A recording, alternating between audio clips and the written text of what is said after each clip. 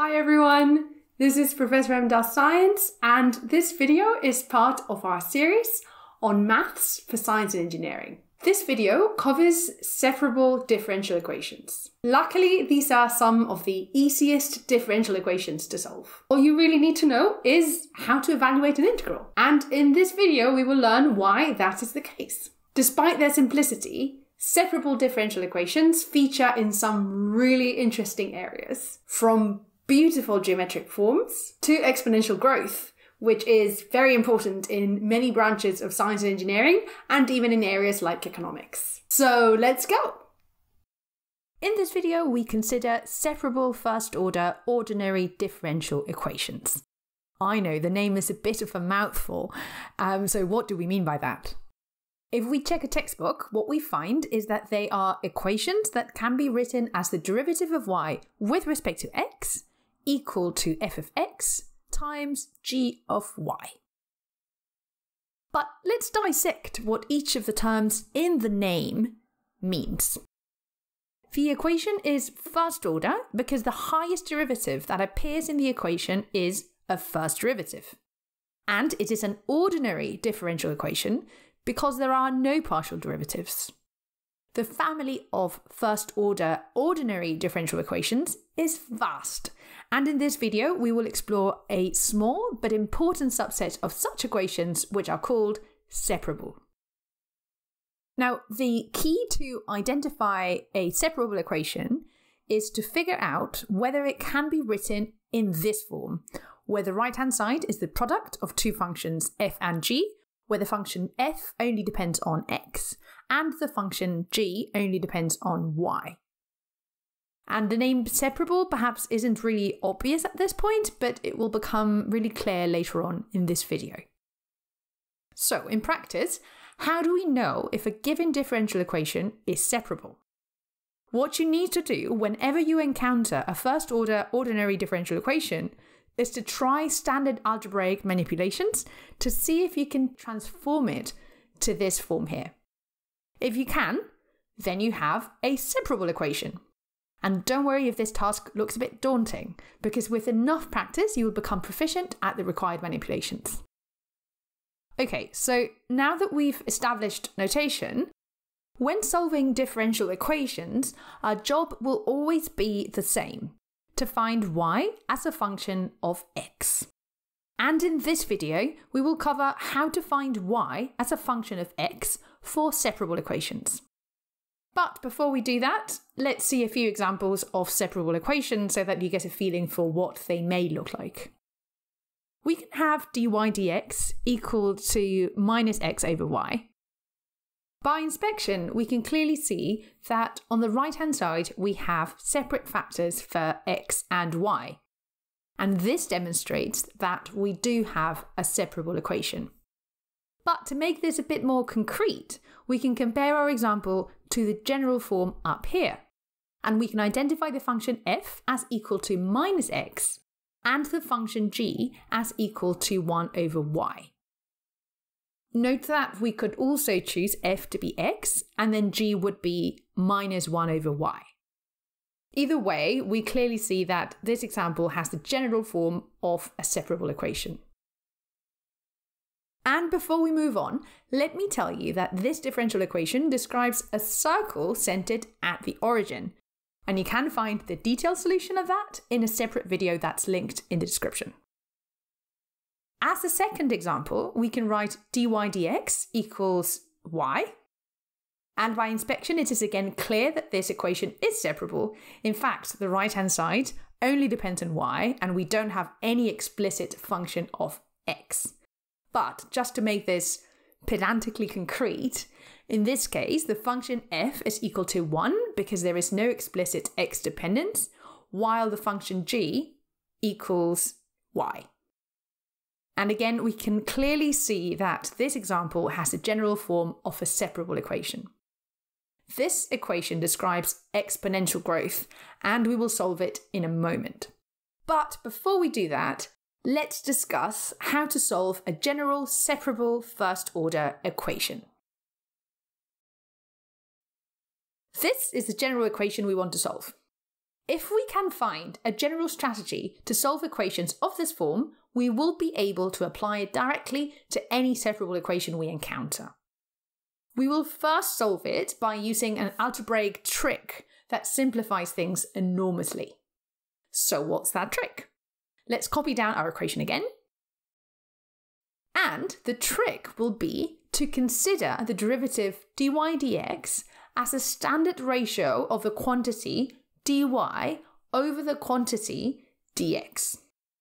And I know a lot of you are probably gasping disapprovingly. How dare we do this?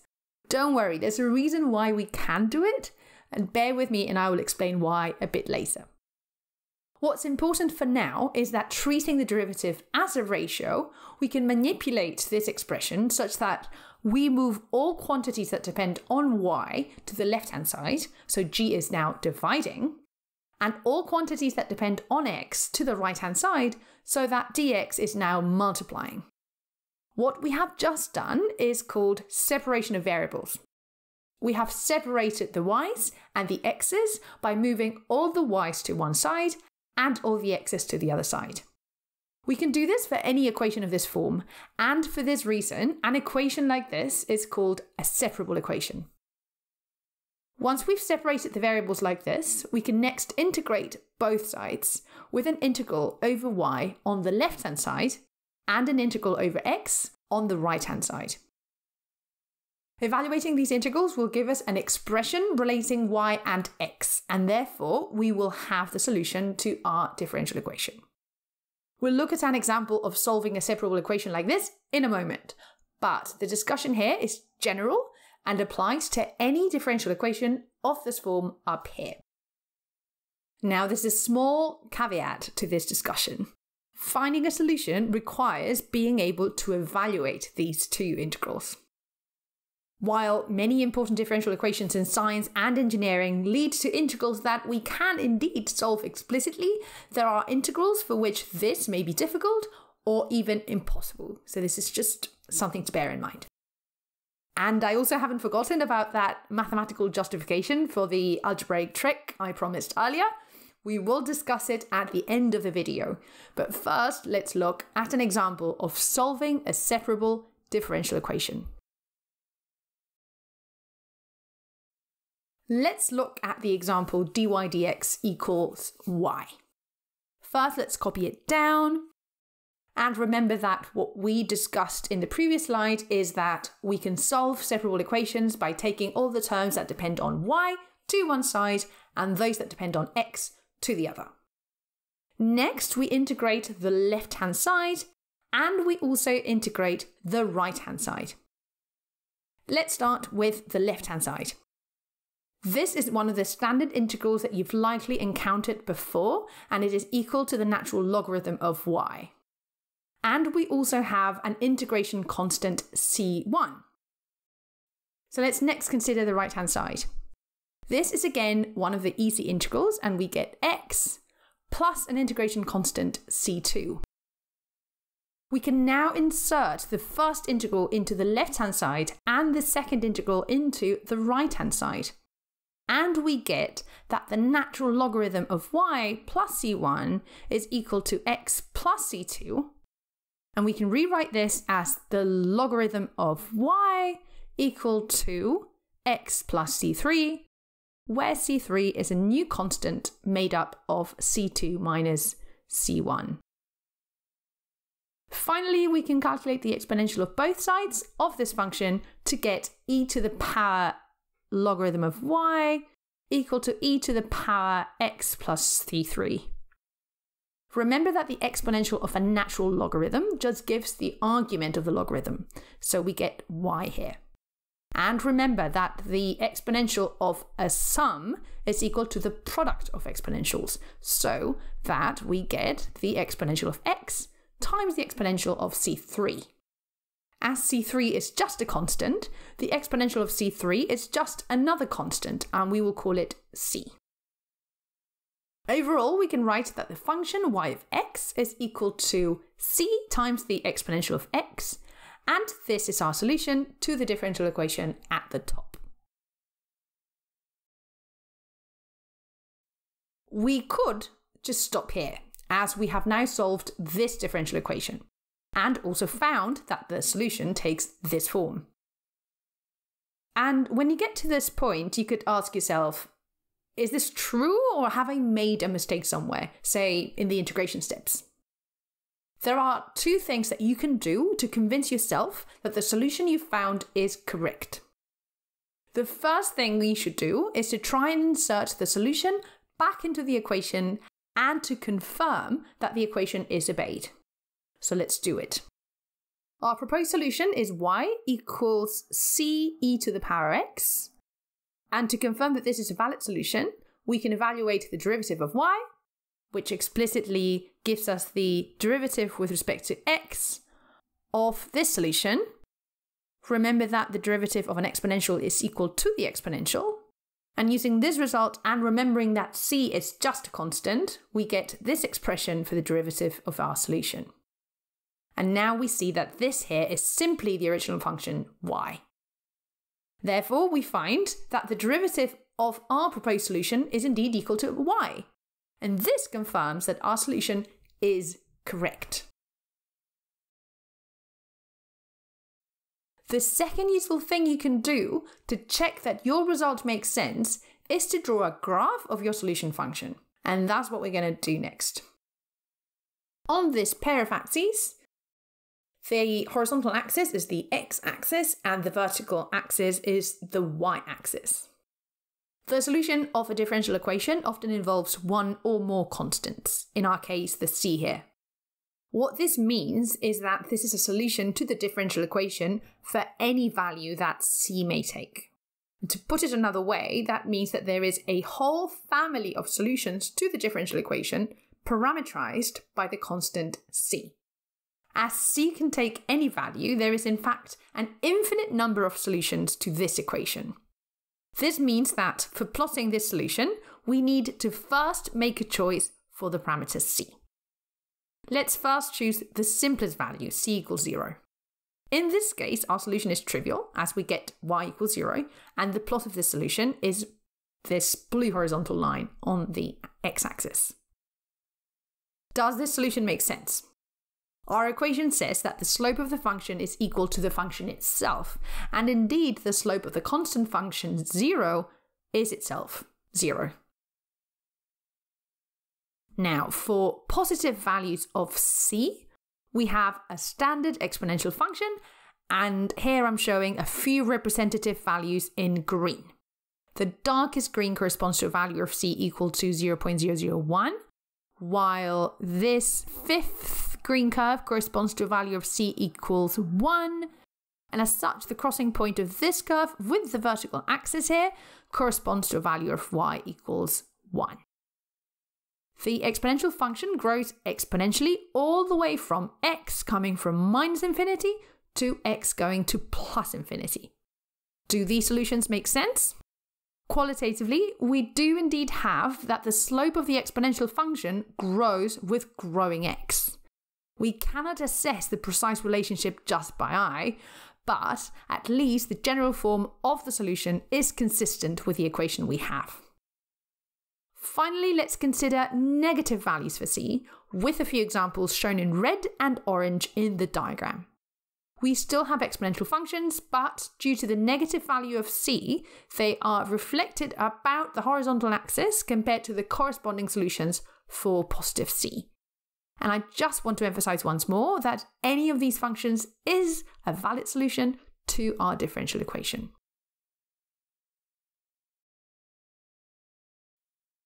We've now discussed how to solve separable first order ordinary differential equations, which, remember, take this form. If you're only interested in the practicalities of solving these equations, we've already discussed the separation of variables strategy, and you can stop watching right now.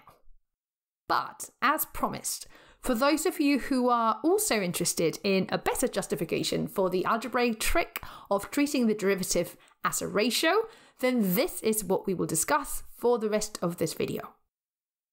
Let's copy down our differential equation once more, and to make things as clear as possible, I'm including all functional dependencies in this expression. For example, I'm explicitly writing g as a function of y, which in turn is a function of x. Now, I won't be completely consistent as to whether I keep all functional dependencies in. I will only do so when it can help me make the discussion clearer. But overall, the key point is to make sure that you remember the relevant dependencies when necessary. So, moving on, we rewrite this equation by separating the f and g functions, but this time we don't play any tricks on the derivative, so we keep the dy dx together. And also note that I'm leaving some space to facilitate the next step.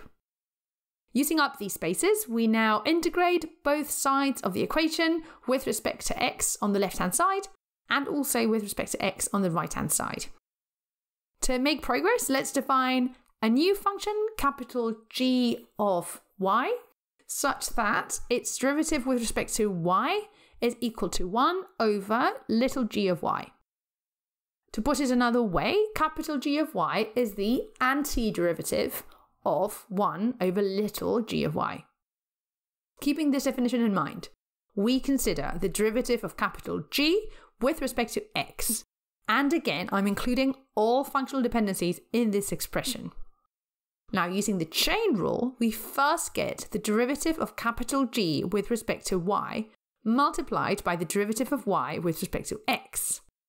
By the definition of capital G as the antiderivative of 1 over little g, we can insert this definition into this term and we end up with this expression.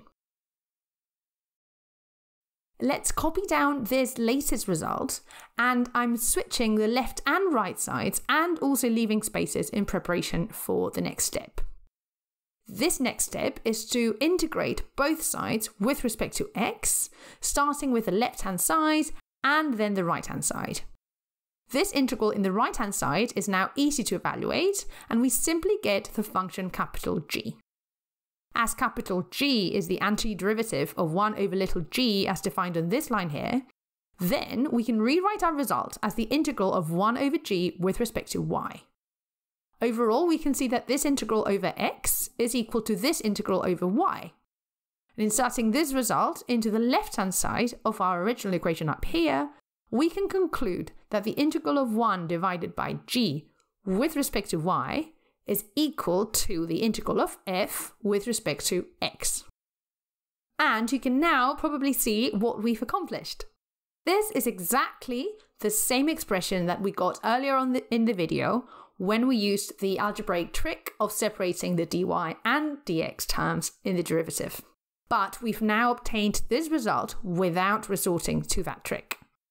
So this is our justification for that separation of variables trick that we use when solving this class of differential equations.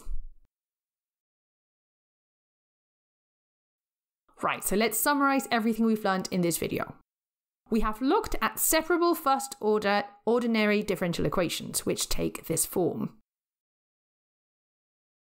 The solution involves two steps.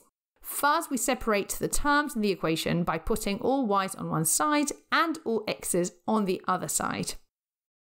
And second, we integrate both sides, the left hand side with respect to y and the right hand side with respect to x. And with this strategy, we can solve any such equation, and you can find links to example solutions in the description. You can check out additional examples of separable equations in the videos that are linked in the description. I really hope that you liked the video and please subscribe.